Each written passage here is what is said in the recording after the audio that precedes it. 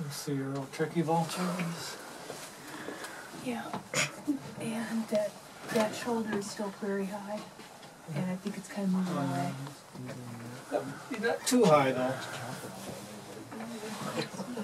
But he's ignoring us. Why don't gonna go get that Sharpie?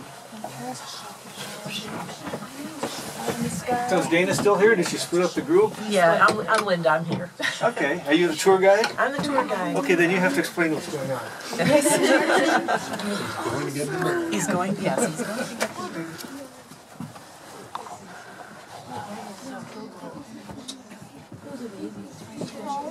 That's awesome. Still need to be quiet. We still got some other birds available.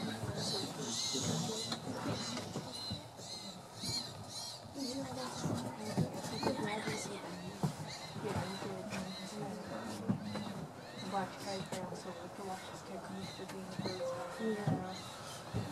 Well, okay.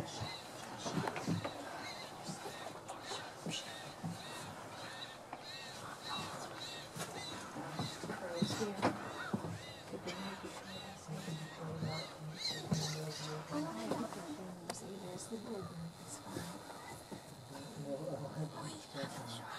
Oh, no, it's, it's a turkey vulture.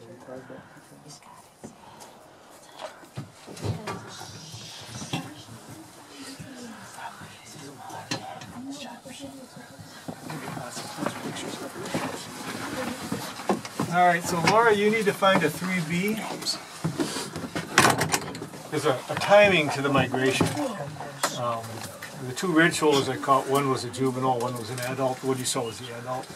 They're mostly done. The sharpshins are just getting going. So we've got a nice adult sharpshin here, and then later in the month you start getting the juveniles. The adults come through first. The adult females come through first. There's a female with beautiful dark red eyes. We'll walk outside and get some good photos.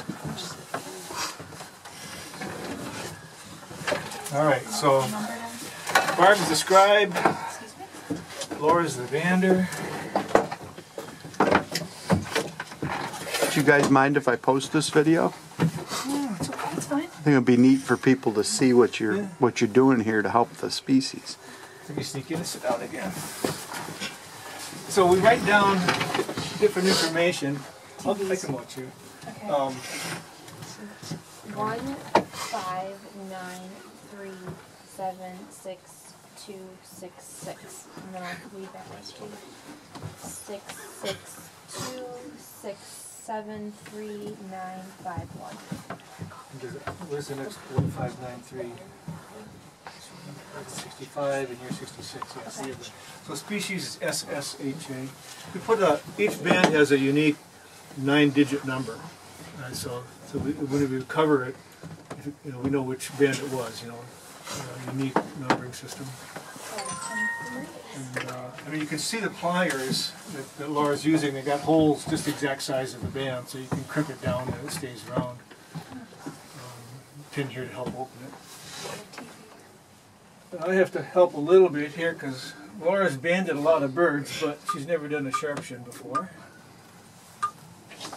So you got it open? That's fine. Yeah, that's fine. That's fine. Well, How, how often do you get that a sharp shinned? This is probably our most common bird. Is it okay? It's still the early part of the season for them, so. Um,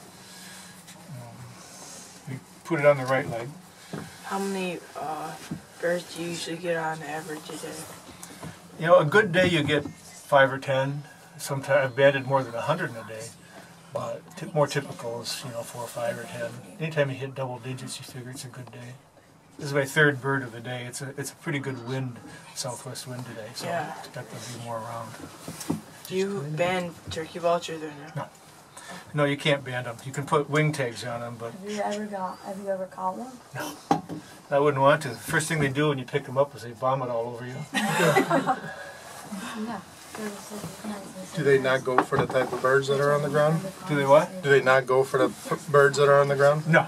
You know? I've had them come in, but you know they they, they eat carrion. They need stink. But Gotcha. uh, this this the way turkey vultures are too. You can't put the band on their leg. They, um, they actually they'll get an infection on their leg. So they put wing tags on them sometimes. Turkey vultures prefer their prey to be at least two days dead. Yeah. So they're nice and soft because their beaks aren't really strong. This, this works well on the sharpshins. Okay.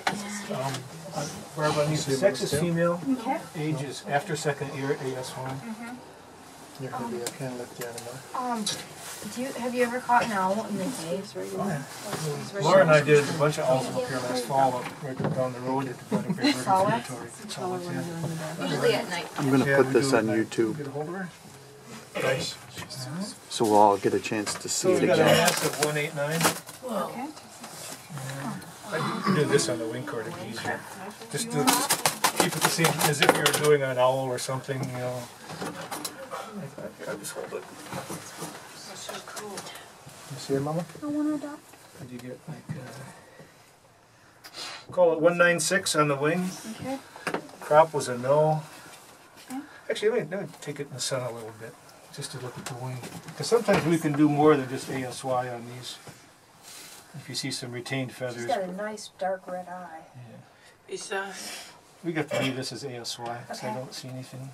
What other type of birds do you ban besides hawks?